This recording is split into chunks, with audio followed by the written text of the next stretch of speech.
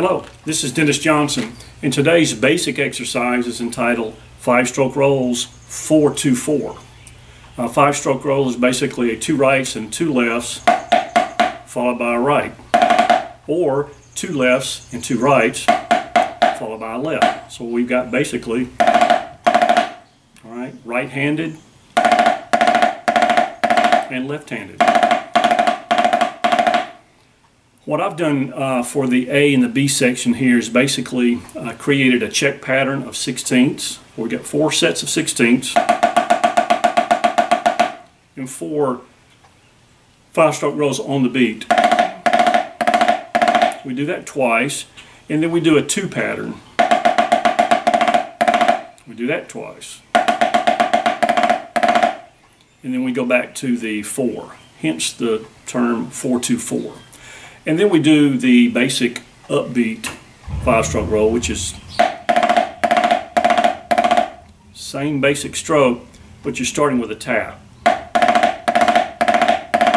Okay, so I thought this exercise would be good, especially for the uh, beginners and less experienced players. More experienced players have already played uh, the 16 30 second transitions, the check patterns of all of the different permutations, but uh, this is just basic basic, basic, on the beat, off the beat five stroke rolls. Uh, lots of music in today's uh, marching percussion or concert percussion contains five stroke rolls. Just a very basic rudiment. Uh, it's either going to be on the beat or off the beat. So I've taken it to its base level and just created a 4-2-4 pattern. So I'm going to play letter A straight into letter B and put the music up so you can see it. And I think we're going to do this at about 110. All right, so here's letter A straight into B.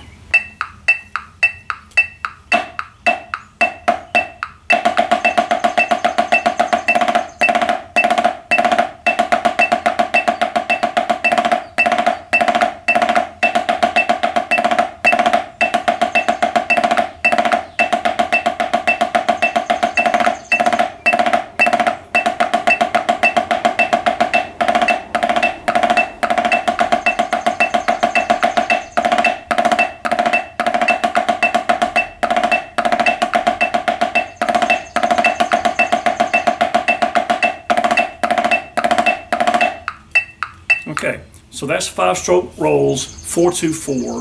Uh, what we're trying to do with this, uh, for our purposes, is to stay away from any accent, so we don't want to go. Because what that's going to do is distort the attack of the five stroke. And you don't want to do this either. On the upbeats, you don't want to go. Keep everything at one height and add accents as music as the music requires. Of course, if your music calls for an accent, play it. But uh, for, the, for our purposes today on this exercise, just keep everything at one height. All right, so now I'm going to take the music down so you can see what the hands are doing. Basically, I mean, everything is...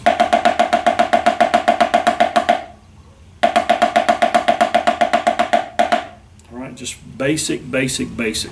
And everything, everything is sticked using the uh, natural sticking system, which is right followed by left except for letter B because you got a right followed by a right because the roll starts with a right. Uh, once you're able to play these nice and solid, go back and start with the left hand and that'll strengthen your left hand.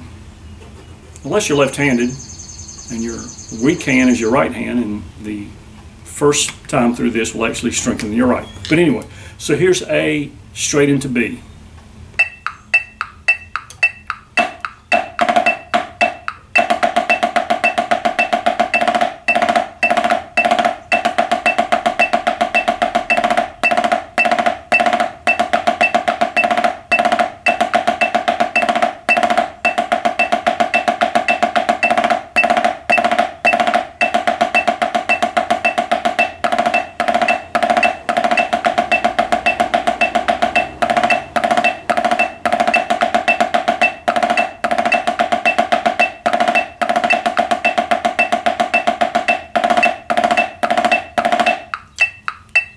And what I find with young players is that if they're right-handed, the left hand, when you're playing the five-stroke roll, is going to be held way down and probably to a point where we're actually buzzing the roll, and the right hand is up, sort of like that. So what you want to do is strengthen that left hand, and make sure that you're playing all the strokes at the same height.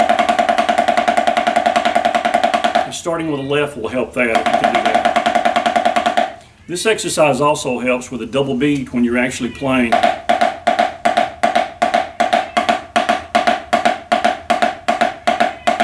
So that your right and your left hand sound the same. So until next time, these are five stroke rolls. Practice these, and I'll be back with you with another exercise later on. And until next time, keep on drumming.